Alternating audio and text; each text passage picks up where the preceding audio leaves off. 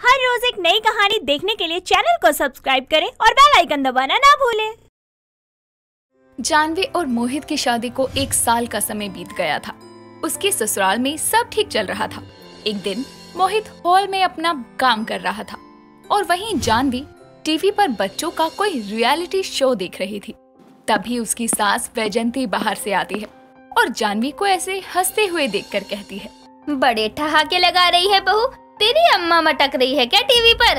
क्या बात है? आज अपनी समधन को याद कर रही हैं आप। और मैं तो इन छोटे छोटे बच्चों का डांसिंग शो देखकर हंस रही हूँ। कितने अच्छे लग रहे हैं नाचते हुए। इतना ही अच्छा लगता है बच्चों को ऐसे नाचते देखना। तो अपने बच्चे के बारे में कुछ सोचते क्यों नहीं है? सासू माँ क्या बातें कर रहे हो? अभी मेरी कोई उम्र है माँ बनने की? ये लो। अरे तू अट्ठाईस की है और ये बत्तीस का हो गया। अब माँ बाप नहीं बनोगे तो क्या बुढ़ापे में जाकर बनोगे?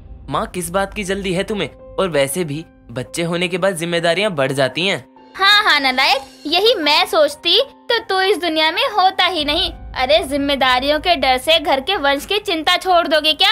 सासू माँ, हम ऐसा थोड़ी कह रहे हैं। और वैसे भी मॉडर्न जमाने में यही सही है।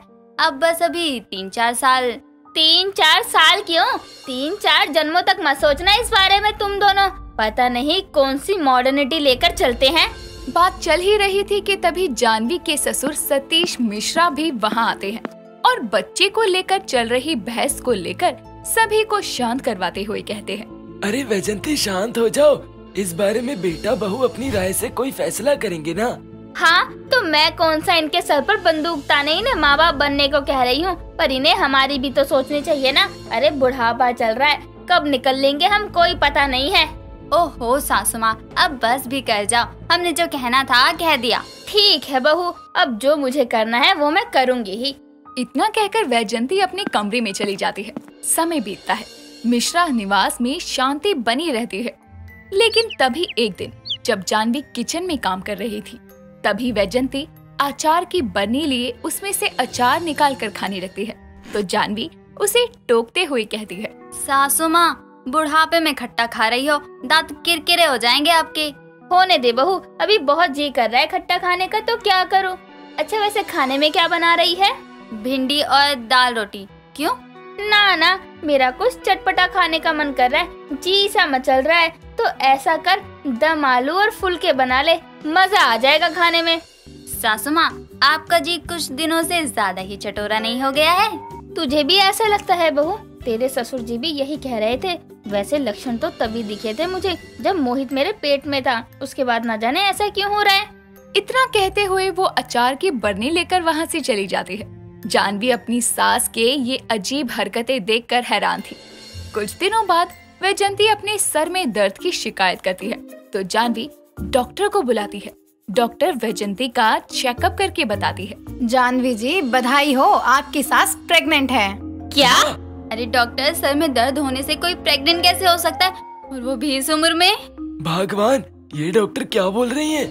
मुझसे क्या पूछ रहे हो? सब तुम्हारा किया कराया है। अब डॉक्टर क्या झूठ बोलेगी? अरे आप लोग हैरान क्यों हो रहे हैं? आज के मॉडर्न जमाने में तो आम बात हो गई है लेकिन उम्र ज़्यादा है इनकी और दो महीने भी हो गए। तो थोड़ा खास ख्याल रखिएगा। बाकी मैं कुछ विटामिन की गोली लिख देती हूँ। बताओ।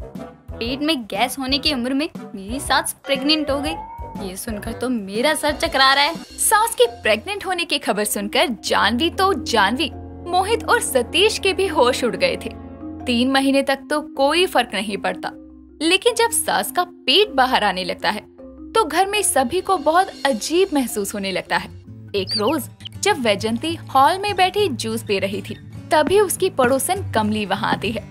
और वैजंती का निकला पेट देखकर हैरानी से कहती है। हाय दैया जे तेरे पेट को का हो गए वजंती मैं कुछ दिनन के लिए गाँव का गई तेरे पेट तो फूल को गुब्बारा हो गए ये भगवान ये कमली आंटी क्यों आ गई? अब सासू माँ के प्रेग्नेंट होने की बात पूरे मोहल्ले में फैल जाएगी। नहीं। अरे इतनी उम्र हो गई और इतना भी नहीं समझती पगली। पेट यूँ ही नहीं बोलता तेरो मतलब तू पेट से हैगी? अरे बहू तेरी सास पेट से हैगी मतलब बहू तेरे पेट निकलने के बगत में जाको पेट निकल गयो। मिश्रा जी जे का गुल खिला दिया तुमने? वो वो मैं टहल कर आता हूँ जरा। आंटी आपको कुछ चाहिए था क्या? चीनी चाय पत्ती दूध दही कुछ? अरे जिसको इतनी अनोखी खबर मिल गई वाह को और का चाहिए? वैसे वैजंती ये सब?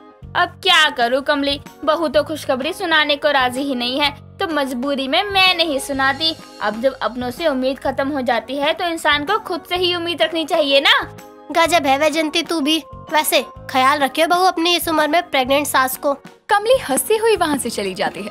तभी मोहित घर लौटता है। तभी जानवी अपनी सास को कहती है। सासू माँ क्या ज़रूरत थी कमली आंटी को सच बताने की? अब सारे मोहल्ले में ये बात फैल जाएगी और हमारी इज़्ज़त का फलूदा बनेगा वो अलग। माँ थोड़ा तो सोचा होता ये सब कितना अजीब है। क्यों अजीब है? अरे अब कहाँ गई तुम लोगों की मॉडर्न सोच? खुद तुम्हें माँ बाप बनना नहीं है लेकिन इस उम्र में सास या माँ प्रेग्नेंट है तो उससे भी दिक्कत है। मतलब चिट भी तुम्हारी और पट भी तुम्हारी। सासू माँ शांत हो जाओ इस हालत में गुस्सा तो मत करो। हाँ तो गुस्सा कौन दिला रहा है? अरे जब तुम इस उम्र में मुझे दादी नहीं बनाओगे तो मेरे माँ बनने से कैसी परेशानी? वैजंती अपने कमरे में जाने लगती है। तभी वो सोफे से टकराकर गिरने वाली थी। लेकिन जानवी उसका हाथ पकड़कर उसे संभाल लेती है और कमरे तक छोड़ आती है। समय बीतता है। जानवी अपनी सास का बहुत ख्याल रखने लगती है। ये देखकर वैजंती को अच्छा लगता है।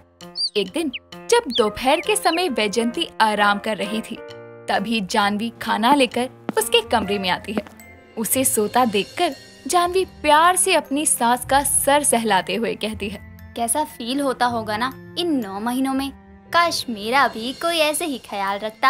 अरे बहू तू एक खुशखबरी दे तो सही इससे भी ज़्यादा ध्यान रखूँगी तेरा। चलो मेरी इस हालत के चलते तुझे कुछ एहसास तो हुआ? समय बीतता है। घर वालों के लाख मना करने के बाद भी वैजंती घर में अपनी गोद भराई करने की जिद करती है जिसके लिए ना चाहते हुए भी जानवी को सारी पड़ोसनों को घर आने का निमंत्रण देना पड़ता है।